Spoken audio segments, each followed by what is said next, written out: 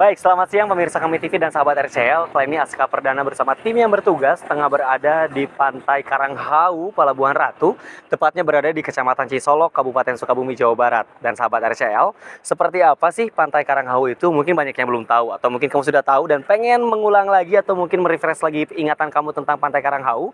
Kita akan saksikan bersama keseruan saya bersama tim yang bertugas yang berada di Pantai Karanghau, Pelabuhan Ratu, Kabupaten Sukabumi. Mari kita saksikan. Pesona Karanghawu Palabuhan Ratu Pantai Karanghawu merupakan salah satu pantai yang keindahannya bak surga tersembunyi di Sukabumi. Objek wisata ini sangat populer dan juga banyak digemari para wisatawan saat libur dan akhir pekan. Pantai Karanghawu memiliki keindahan alam yang mempesona. Beragam aktivitas yang dapat dinikmati pengunjung, mulai dari pasir pantainya putih bersih, air lautnya berwarna biru muda, dan banyak terdapat bebatuan karang menjulang tinggi. Selain itu, di tengah laut terdapat pulau kecil yang semakin menambah keindahan pantai ini.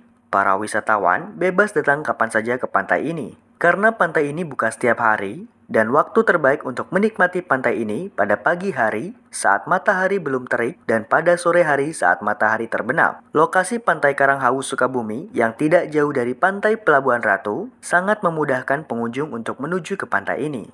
Seperti apa sih Bu tanggapannya Pantai Karanghau ini? Ya menurut saya bagus ya. Eh, saya sering aja ke sini. Udah beberapa kali berarti? Udah berapa kali. Oke. Bu harapannya Bu tentang Pantai Karanghau ini ke depannya pengennya gimana sih? Lebih bersih lagi lah sama tertib gitu ya. siap. Gitu aja berarti? Iya. Oke. Lokasi pantai ini berada di Desa Cisolok, Kecamatan Cisolok, Kabupaten Sukabumi. Dari pusat kota Sukabumi, jaraknya sekitar 73 km. Demikian Aska Perdana dan Aji Permana melaporkan.